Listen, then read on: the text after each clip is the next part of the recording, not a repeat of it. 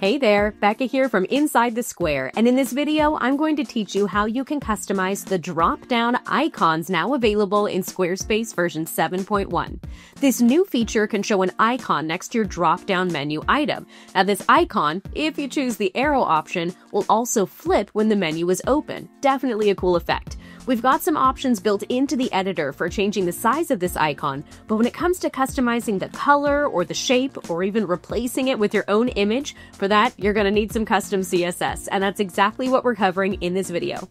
Now, as always, the codes I'm about to share are listed underneath this video in the description below, but without further ado, I'm going to share my screen with you so I can teach you exactly how to use these codes to customize your drop-down icons. Let's get started.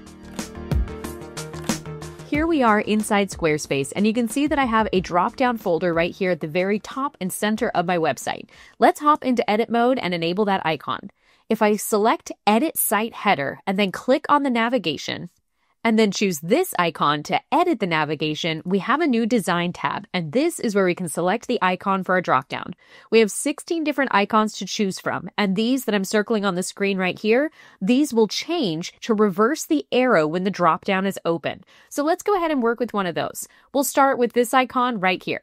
Now, as soon as I've selected it, it'll show up on the screen here, and we can make some adjustments to the thickness of that icon, the size of it, and the spacing, and the roundness. So check this out. We're going to go ahead and reduce it down to medium, so it's closer to the size of my font.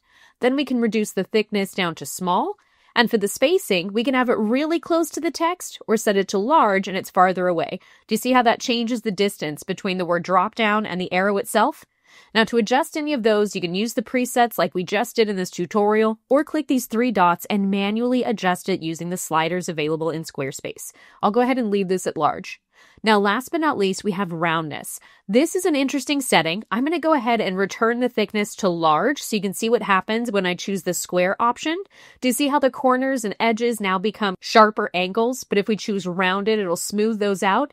That can make a difference, especially if you have a thicker icon. Now I'm going to go back to the thinner icon because it's more aligned with the font style that I've chosen here for my main navigation, but those are the settings that you can explore. And again, you have 16 different icons to choose from, and these arrow icons circled here on the screen will reverse when the dropdown is open.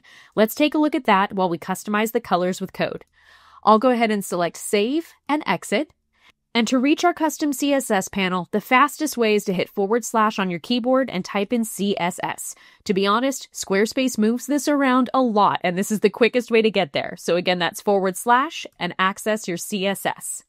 Before we change the color with code, let me show you how the arrow reverses on a hover. Do you see how it flips for us instantly? Pretty cool effect right there. Now let's go ahead and change the color of that arrow so it's different than the color of the font in our main navigation. Here on the screen, I've added a code. Let me zoom in for you. This code tells the computer browser that when you see this icon, make sure the fill of that icon is red and the stroke is red. Now, technically, this arrow, it's just lines. We don't need to have this fill option here. But just in case you've chosen the arrow that has the triangle filled in, you'll want to make sure that you use both, so I included both in my code. Fill and stroke will change the color of that icon, but we can do so much more. In fact, let's go ahead and add a few more lines to create a unique shape.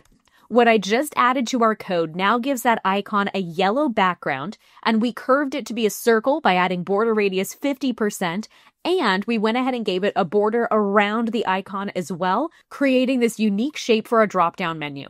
Now, when we hover over it, it is going to flip, and the colors and the background shape, that's all going to stay the same. But again, the arrow will flip on a hover. After creating this design for a client, they actually requested to have the arrow change opacity or be a little bit transparent on a hover, so I wanted to share that code with you before we move on to replacing the arrow with our own icon.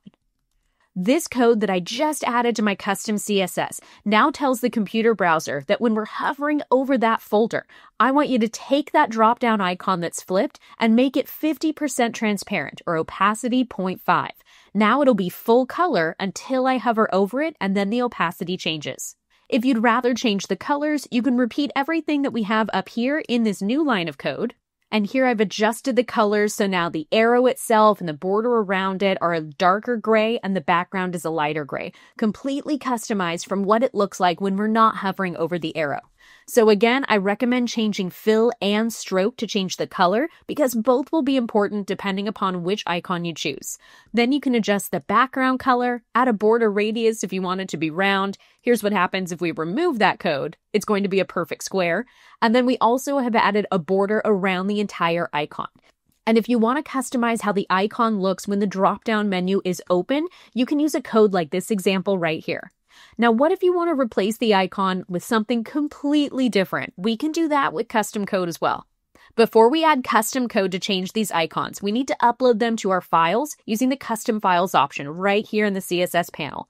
You can click this plus sign or simply drag and drop the files from your computer to upload them here into the custom files for your Squarespace website. Now let's go ahead and remove the code that we used before. I just pasted a big chunk of code right here into our custom CSS, and you'll find this entire code available to copy and paste directly out of my blog post for this tutorial. Now, there are two very important parts of this code that we'll want to change, and that's the placeholder text for image URL here. This first instance of that placeholder text is going to add the icon in this state right here when we don't have the drop down menu open. Now I'm going to remove this placeholder text and Squarespace will show me the two images that we've uploaded. I want it to be this help icon. If you don't see this showing up, just open your custom files and click on the icon directly, and Squarespace will paste that URL right here into the custom code. Now, the second instance of the placeholder text, that's going to be the icon that we want to show up when we're hovering over the dropdown and it's open. I'm going to go ahead and remove the placeholder text and I'll click my close icon. And now we can see the close icon shows up when we hover over the dropdown and it goes back to the question mark when it's in its normal state, when we're not hovering over that dropdown to see the links inside the folder. And one last thing I want to mention before we call this tutorial a wrap is that I recommend using a PNG file with a transparent background that's a one to one ratio, 100 pixels or smaller. It really doesn't need to be that big for the space of this icon inside your website header. Underneath this video, you'll find a link to my blog post where I have all of the codes that we just used together. You can easily copy them out of my blog and paste them into your own Squarespace website. Just make sure that you update the values so they match the unique style of your own creative Squarespace design. I'm Becca from Inside the Square, and I hope you enjoyed this video. If you did, give it a like and let me know in the comments. And if you'd like some help with your Squarespace website, let me know in the comments. I'd love to make a tutorial video for you. Thank you so much for watching, and most importantly, have fun with your Squarespace website. Bye for now.